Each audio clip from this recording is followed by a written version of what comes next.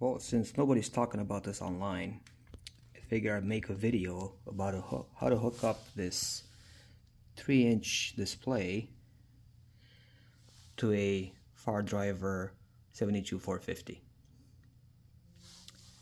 There's one way they recommend to hook it up and that's using the one LIN wire. But that only gets you speed and it might show you, you know, what gear you're in. So I wanted to get more, so I hooked it up to the CAN bus. So first you need a Fardriver with CAN bus enabled, and then you have to hook up two wires.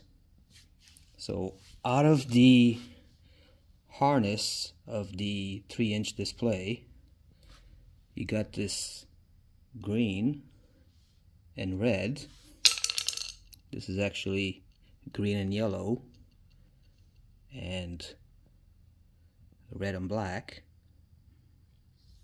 And they go to the Fardriver yellow red and yellow brown I would imagine. Anyway these are labeled CAN low and CAN high on both the display documentation and the Fardriver documentation. So here, here's how it works turn the bike on.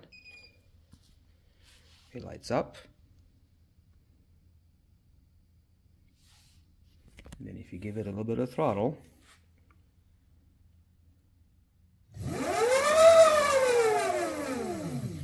you get speed as well as a real-time power display.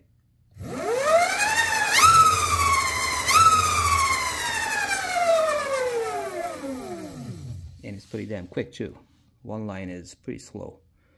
And then you can get more info by hitting the M button here. You'll get motor temperature, controller temperature, and you even get bus current here, which I would imagine is battery current. For some reason, phase current doesn't display anything at all.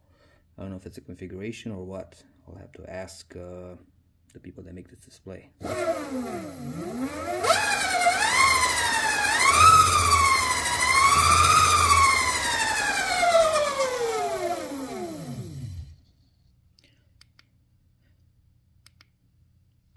Next, you just get the uh, battery information, but since we don't have a CAN enabled BMS on the battery, all you're going to see is voltage and capacity, which I think is just configured in the display itself. It's not 55, it's 28. Definitely wrong. These are the various strings. So anyway, it took a while to figure this out because uh, nobody can explain it. So to use this display to get real-time information and more information, you just have to use the CAN bus on the Fardriver. But you also need a Fardriver that's CAN bus enabled. Most of them aren't so far. And then you got to hook up these two wires, CAN high and CAN low. And of course, uh, you know, I had to chop this off because I couldn't find a connector like this. Other than that, the display just needs uh, the green wire which is which is ground and then the black wire which is battery positive. Yes very intuitive. The rest are just turn signals headlights you know etc to get the display to the, show other things. Okay that's it. Bye